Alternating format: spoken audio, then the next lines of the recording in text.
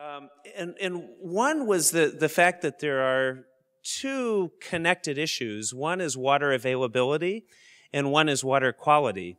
And we ended up focusing more on water availability, um, and in part because of the sense that I think it, that's that's sort of the the first uh, line of need in some sense, and to the extent that water is more available, it can become more feasible to deal with with quality issues as well.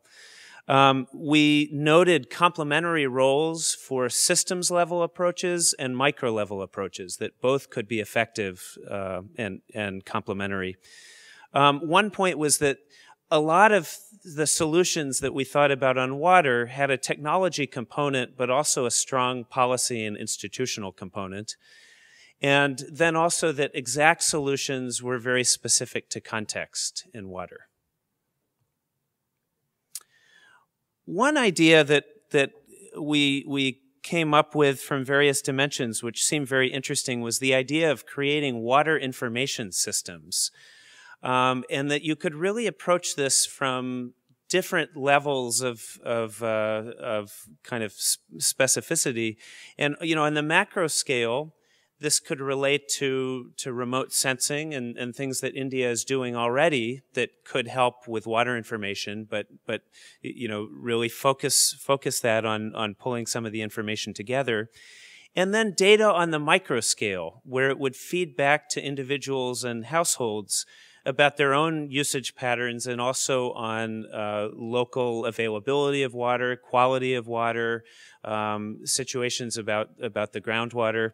And so our feeling was that this could really, if you put all these things together, it could could really be very powerful and might enable you to to then as as a government at different levels to think about well what policy interventions might change behavior in, in ways that are useful. A, a technology connection here is that this would really be enabled by low cost sensors and perhaps also software platforms, maybe even mobile phone applications that could be the, the interfaces for people to these, these water information systems. Um, and, and part of that interface is, is how it interacts with, with people, um, and that that could be a very important part. And uh, one, Vinay brought up the, the possible analogy to efforts that India has made in food distribution and enhancing information around that, and that that's an area where something like this has been quite successful. So another theme of our conversations was the, the very significant overlap between energy systems and water systems. And people gave various uh, sobering examples of how not paying close enough attention to this overlap could, could lead to very serious consequences. And one example of that is if all your, your pumping is done with electricity off the grid, then you're extremely vulnerable if you if you lose your electricity. And indeed, this has happened in India and, and, been very serious. So our recommendations in this area, you know, one was that policymakers really need to treat both of these issues together and are thereby likely to come up with much more effective solutions for both. There's also, again, here a micro component, which is designing uh, designing ways that, that people, you know, kind of tools for people at the local level to, to have products that, that would integrate water use and energy use in, in efficient and, and effective ways. We talked a fair bit about uh, water policies and some good good examples from other jurisdictions of, about things that have worked. Uh, one was the idea of pricing water um, and how you price water is very important to create the incentives for efficient usage. Um, education and creation of social norms around water use and on on valuing water appropriately can be very effective. And then one idea that was that was interesting, and, and this was an example that was uh, brought up by our colleague from Singapore, but but also then we thought of some other examples of this approach, is that sometimes rather than using policy and regulation in a very prescriptive way, you can the government can essentially create a, like a request for a proposal uh, to solve some some water related problem that that the government prioritizes And so this could be requests for proposals for technology uh, innovation and development, but it could also be for policy innovation and, and business model innovation. And, and so, uh, you know, we thought there's a lot of merit to this approach as opposed to just telling people, well, you know, you need to do this and this and, and let people innovate and then compare uh, different pilots of these innovations to see which are more effective. And another issue that was brought up um, as being an issue in, in, India, but but I certainly think that this could go the same in, in the U.S. or other countries, is the importance of evaluation to make sure that that policies are are achieving their intended results. Then another point that we came up with was about the idea of enabling platforms.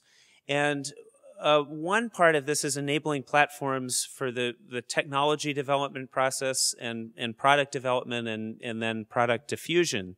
So that, that one stage is that, you know, how do you make sure that people are, are turning technologies into real products that are, that are useful to people? And a second aspect is once you have products, how do you enhance the, the diffusion rate of these products? One observation that a number of people made was that in water, there are there are demonstrations in jurisdictions and villages of of practices that work, but often you'll have uh, an, an, adjoining village, for example, that will not be applying the the same practices that are effective uh, somewhere else or the same technologies. And, and, so that this needs some some further attention to you know how can uh, diffusion processes be enhanced. And then some other platform like ideas. Uh, one was the, the importance of, of financial inclusion in addressing some water issues. And uh, so we thought about the idea of some kind of M-Pesa-like system, like the you know money transfer by by mobile phones, that that that might uh, connect into to water issues as well.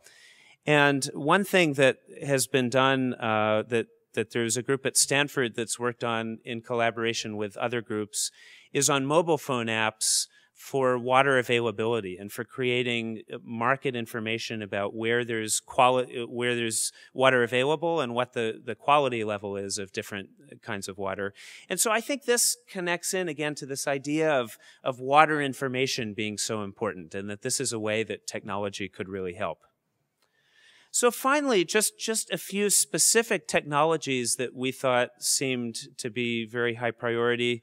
Uh, rainwater capture was one important one, but also technologies through the whole water cascade from the applications that have very high requirements like drinking water, um, all the way to to applications like irrigation that that don't have those same requirements. And so, eh, how you can capture the the water efficiently, the wastewater from each step of this cascade, so that your overall use is very efficient.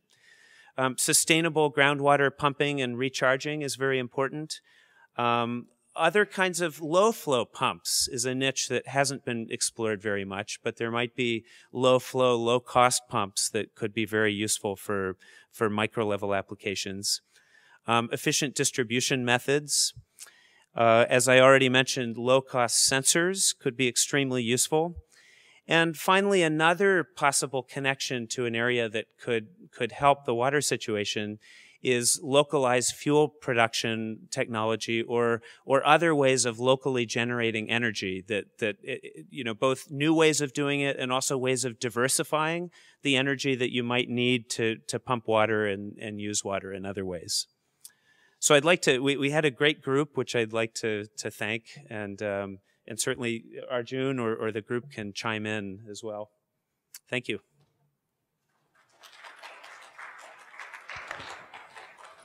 Okay. Questions?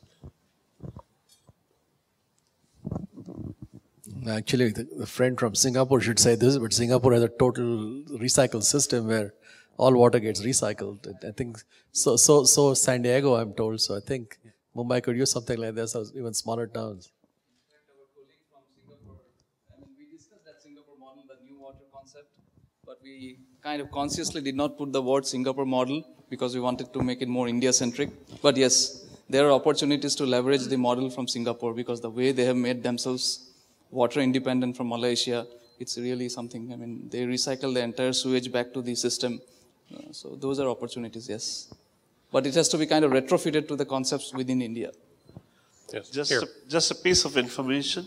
Department of Science and Technology has already requests for proposals on water. Actually, they identified problems in different areas. It's called War on Water. If you go to DST site, you can see those requests for proposals. I think the gentleman had a question.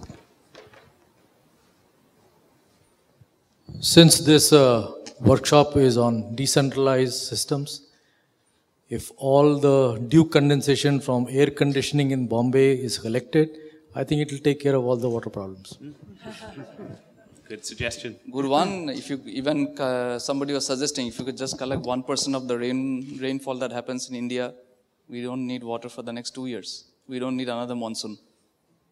That's a good one. Interesting.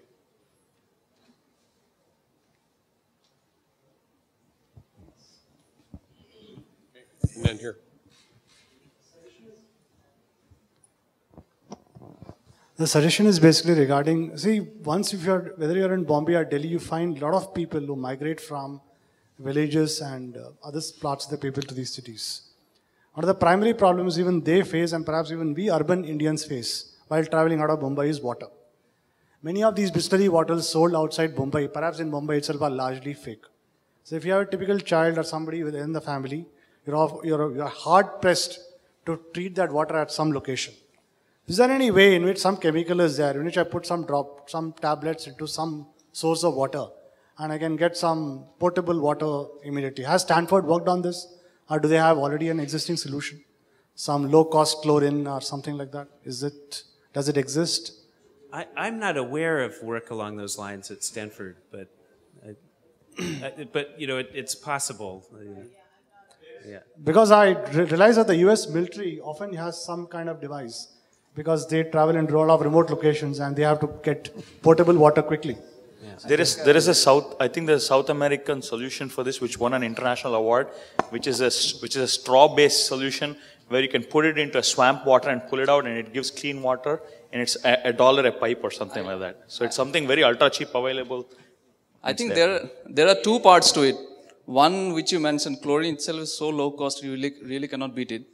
But the fact of the matter is that as long as you're talking about surface water, that is a river water, lake water, or pond water, it's probably not too difficult to treat it. The issue comes in India because we are using water from our groundwater. You have dissolved salts, you have arsenic, you have fluoride, you have nitrates, you have chromium. There is no magic pill that I know of that can actually attract all those things into itself and purify the water. I think the challenge is really in coming up with very cost effective mechanisms that is mostly zero energy because we do not have really predictable electricity in India to desalinate that kind of water, that kind of brackish water, which is arsenic, lead, chromium, and all those other impurities, and make it amenable for drinking or cooking. That's the bigger issue. And actually, one, one quick, quick ad- addition along those lines. I mean, one thing that there was a group that worked on at Stanford was understanding in the subsurface where the arsenic uh, contamination was coming from. And I think this was in Bangladesh, as I recall. And, and it was, you, you know, actually turned out to be quite a useful project for figuring out how to site wells. And, and the other thing that I would mention where, where there is some work on Stanford, at Stanford is on, uh, on adoption of household water treatments. Uh, Steve Luby is, is a professor there who's done quite a lot. At, and, and I think it points up, I mean, household water treatments is a great example of an area where it's not just a technology problem because there are absolutely effective technologies for doing this.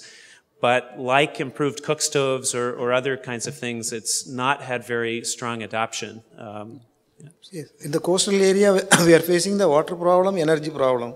We can go for a renewable energy based desalination plant so that we can get the energy and water. I think it's beginning to happen, but then uh, most of the problems that we see within India are far away from the coast, where they are drawing water from the aquifers underground. That's where the bigger issue is. Okay, one more question here. This kind of system is uh, based on reverse osmosis, hand carried, and you basically use a pump to pressurize the water and pass through the reverse osmosis module, and you get potable water from any water, and you are eliminating all of the minerals more or less and so Yeah. forth. So that, that kind of system is available in the US. It's primarily used by people going on camping or going to Africa and so on. So it costs about 25 to 40 dollars and you can carry it in on your back, in your backpack basically and you don't need any power because you are using your hand to pump pump the water through I think uh, in general, though I should not say it, I work for GE. In general, reverse osmosis is not a great solution for water treatment if you're taking it for drinking because the recoveries are very low. We have yet to find some technology that can really have 90% recovery of water because if you look at any domestic desalination reverse osmosis filter, two thirds of the water really go down the drain and that's a lot of wastage if you integrate the amount of water that could be wasted. the rest of the water you can use it for other things and this is when this this is you are making potable water out of any water available Yeah, but if you have arsenic in your water, it's going to go to agricultural field, which is anyway going to come back to your stomach. So there has to be. All right. Um, we're, we're running a little behind schedule, so uh, I'll uh, bring this to a close, but uh, applause for all the groups. You all did a great job.